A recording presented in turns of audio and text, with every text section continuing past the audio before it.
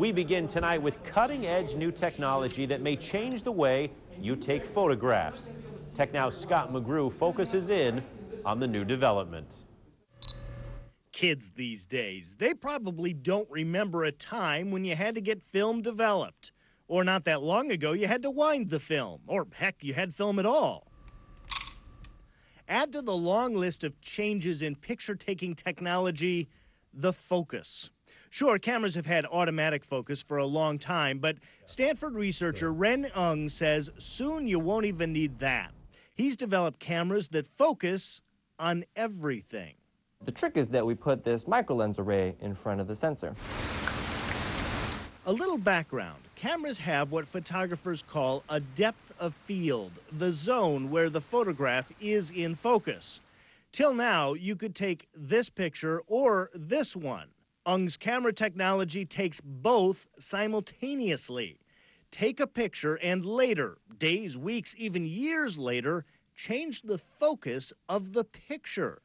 From the flower in the foreground to the tower, from the bride to the background. Focus on the finger or the face. You can change the focus in a picture after the photograph's been taken because the camera's special lens captured all of the possibilities ahead of time. There's all these rays of light flowing into the camera, like you know, all these rays. And in a conventional photograph, you get a very short summary of that of those set of rays. In essence, you add up lots of those rays in particular ways, and you get just those sums of different sets of rays. And we try to capture the whole set of rays by itself. And that is the information that you need in order to refocus.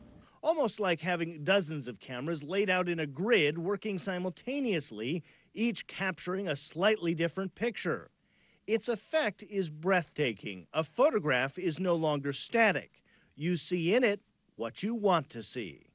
Now, this new technology, a camera with an essentially infinite depth of field, will work its way into consumer products soon. The next generation of camera users will have no idea there was once a day when a camera needed to focus.